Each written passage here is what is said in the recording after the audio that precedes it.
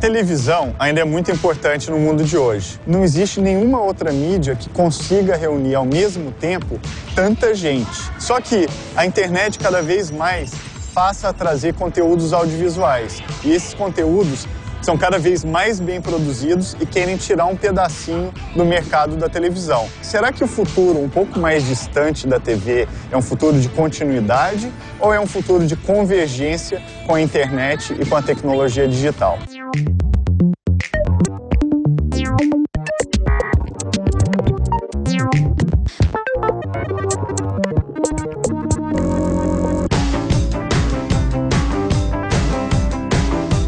Hoje em dia existem empresas que produzem séries e seriados direto para a internet. É interessante porque elas pulam a janela de distribuição e nem pensam em distribuir direto para a TV. Um modelo de produção muito mais simplificado.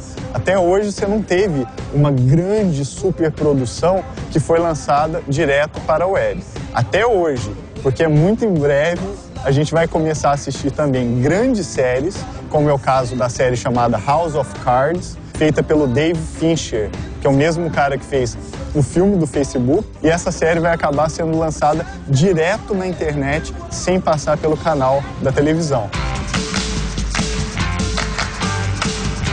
In the past, media has always been top down. It's always been produced by and distributed by a few places.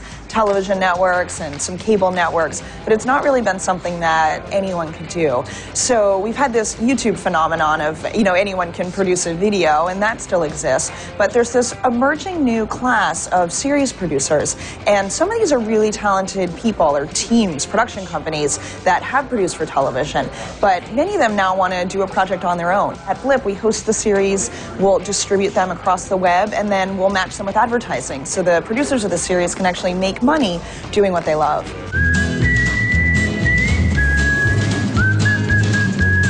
The series on Blip range from comedies to dramas. We have series about fitness and health and gaming, pretty much any subject that you could imagine.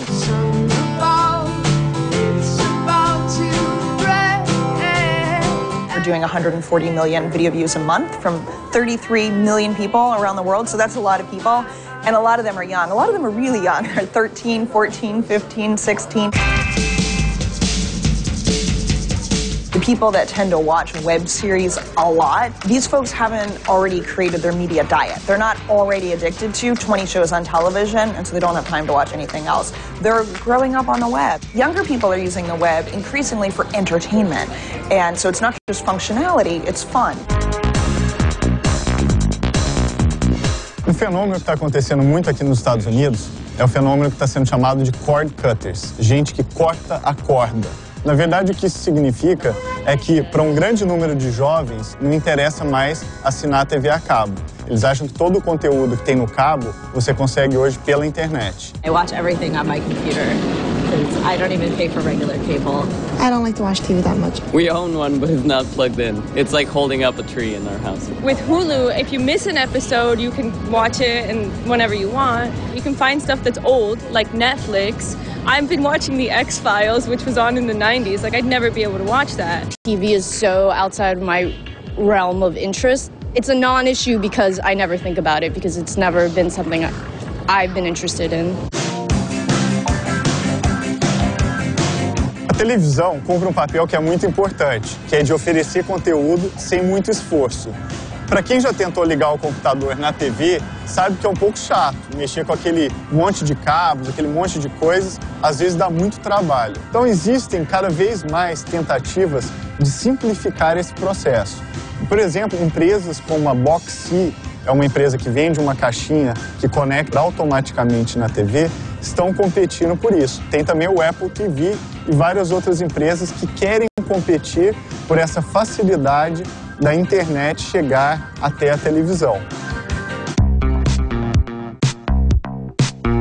Uma das coisas muito interessantes é que várias plataformas estão surgindo para você ter conteúdo através delas. Então, por exemplo, muita gente tem aparelhos de celular, outras pessoas têm iPads, tablets e outras têm o um computador ligado na TV. E o que é interessante é que cada uma dessas plataformas gera uma nova oportunidade de criar linguagens novas. I watch a lot of music videos on YouTube because you could like just watch whatever you want. They have everything, so you don't actually have to listen to albums. Even if you have this, you can always have cable cords to plug into the TV to get the same monitor on the TV.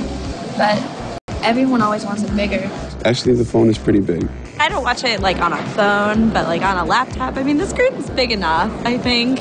I don't know. Everything's small in New York. If you're watching a web series for news or information, so you primarily want to learn from it, maybe you're okay watching it on your mobile. But I actually really think in the end, you'll just have screens all around your home. You'll have screens that are now your television, you'll have an iPad screen, maybe one in your kitchen and one in your bedroom. All this talk of where are people going to watch what, I think won't really matter. You'll just have content that you really love watching, and you'll watch them on all of the different screens in your life. I think people will keep watching TV. It's just going to move more online. So they'll be watching their laptop versus paying for cable. It'll never die. It's a long way off if it's going to happen. We're in New York, but but skip New York and go into the rest of Middle America, and what they do is they go home every night and they watch TV. As mídias acabam se sucedendo. Então, por exemplo, quando surgiu a televisão, muita gente achava que o cinema ia acabar. Acho que a internet desafia a televisão e esse é um bom desafio, porque eu acho que a TV vai acabar se transformando para uma coisa muito mais interessante do que ela é hoje e abrindo novos caminhos para novas narrativas e novas possibilidades, inclusive, de ganhar dinheiro.